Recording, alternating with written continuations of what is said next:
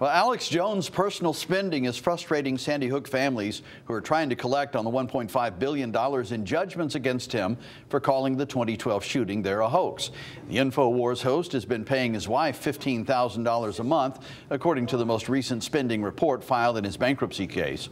He also spent nearly $8,000 on housekeeping, more than $6,000 for meals and entertainment, and about $840 a week on groceries.